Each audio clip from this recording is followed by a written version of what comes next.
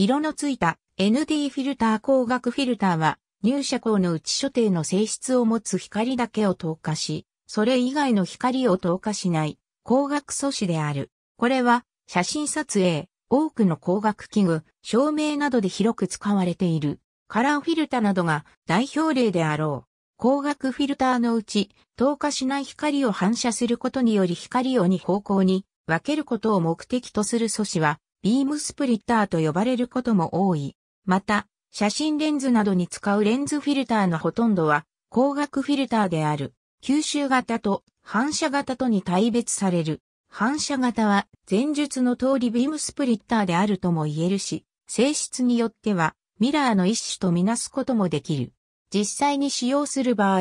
反射型では反射した光が意図しない効果を引き起こすことがないように注意しなければならない。吸収型では特に強い光を当てるときには急激な温度上昇などによる損傷や光学特性の劣化に注意しなければならない。キューブ型と平面型とに大別される。キューブ型は二つの直角プリズムを貼り合わせて立方体形状にしたもので接合面で光を分離する。通常は反射型である。平面型は丸や四角の平面であり、反射型と吸収型の両方がある。変更フィルターは、ある特定の変更成分だけを取り出すものである。波長によって光を選ぶものには、ロングパスフィルタ、ショートパスフィルタ、バンドパスフィルタなどがある。コールドミラーは可視光を反射し赤外光を透過するショートパスフィルターの一種である。また、ダイクロイックミラーは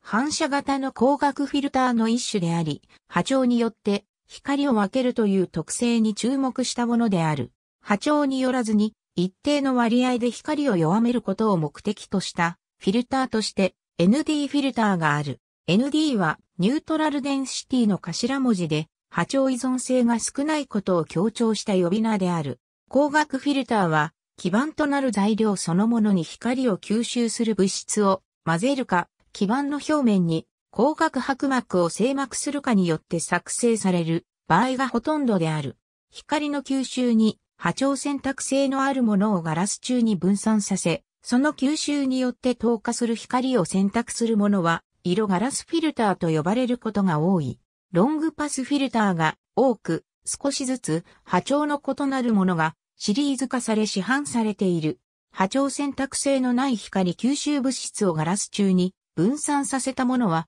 吸収型の ND フィルターとなる。基板の表面に静膜される。光学白膜は金属白膜と誘電体白膜に大別される。金属白膜は波長依存性が少ないため反射型の ND フィルターあるいはビームスプリッターとして使われる。反射率は膜圧によって任意に制御することができる。誘電体白膜は空気と誘電体、誘電体と基板、及び異なる誘電体同士の海面で生じる反射が干渉することにより光の透過特性が変わることを利用している。干渉フィルターと呼ばれることもある。バンドパスフィルターを指すこともある。誘電体白膜は多くの場合一層ではなく複数層の膜であり、設計によって様々な性質を持つフィルターを作り出すことができる。例えば、ロングパスフィルターを作った場合には、その波長選択性は色ガラスフィルターよりも高い。